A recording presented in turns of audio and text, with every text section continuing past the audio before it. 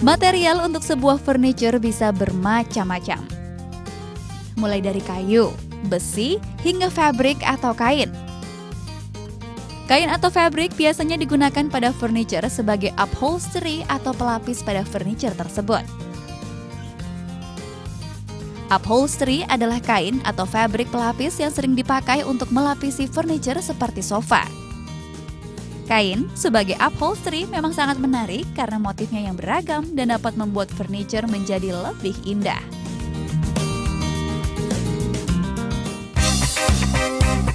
Upholstery sering diasumsikan sebagai pelapis sofa saja. Namun sebenarnya tidak demikian. Fabrik pelapis ini bisa juga diaplikasikan ke dalam berbagai furniture yang ada pada hunian, baik sofa, bar stool, sarung bantal hingga coffee table. Keanekaragaman dalam motif dan warnanya membuat upholstery banyak diminati untuk material pendukung pada furniture.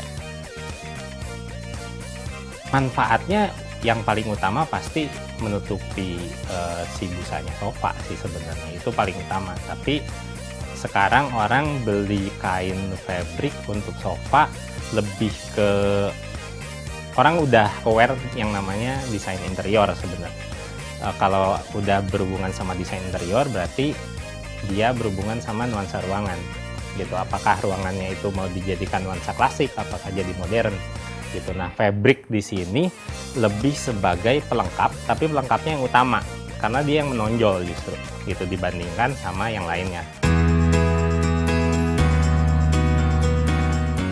Contoh aplikasi upholstery pada furniture di dalam ruangan dapat Anda lihat pada sudut ruangan yang biasanya dipakai sebagai foyer. Sofa yang dipakai adalah sofa busa tebal yang dilapisi dengan kain berwarna merah. Aplikasi upholstery fabric pada sofa ini terlihat mulai dari kain berwarna merah yang menutupi rangka sofa tersebut. Dudukan sofa juga dilapisi oleh fabrik lembut sehingga lebih nyaman saat digunakan. Namun, terdapat sedikit modifikasi warna pada bantalannya. Fabrik yang dipakai menggunakan motif garis sehingga dapat membuat kesan lebih lebar pada sofa ini.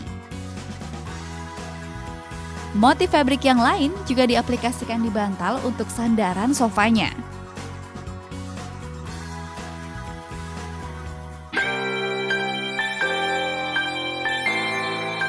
Selain corak dan motif fabrik, warna upholstery fabrik pun dapat menjadi kesan manis pada furniture di ruangan ini contohnya.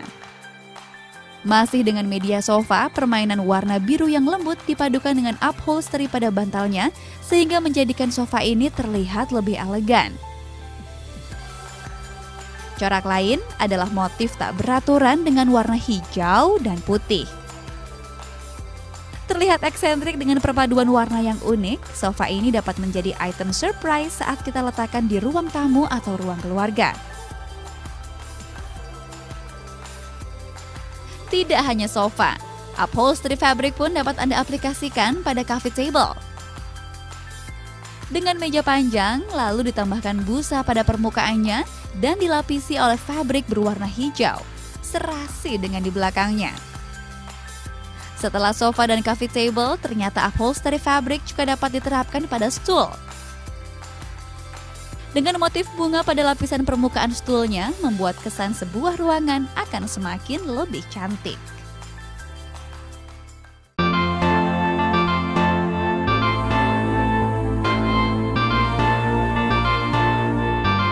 Jenis dan karakteristik kain untuk pelapis furniture berbeda satu sama lain, tergantung fungsi dan penempatan furniture itu sendiri.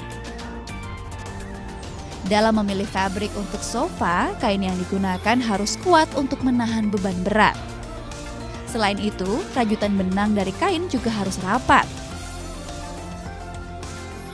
Area penempatan furniture di sebuah ruangan juga menentukan dalam memilih jenis kain pelapisnya. Pada area publik ini, sofa yang digunakan menggunakan upholstery fabric dengan tekstur yang tidak berbulu. Hal ini dikarenakan kain seperti ini memiliki ketahanan yang cukup apabila sering diduduki.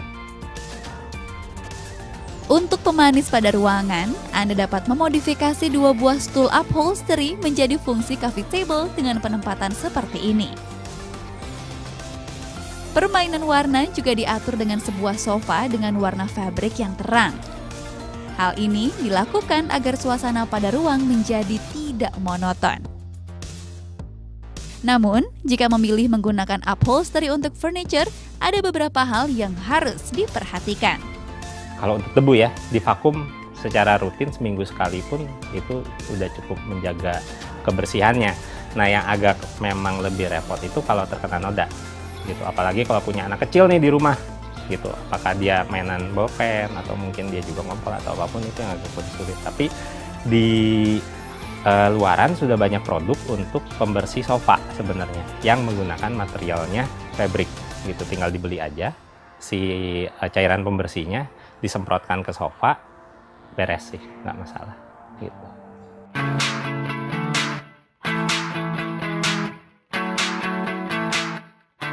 Dengan menggunakan fabric sebagai upholstery pada furniture, Anda dapat mengkreasikan ide untuk motif dan warna yang bermacam-macam sesuai dengan keinginan Anda.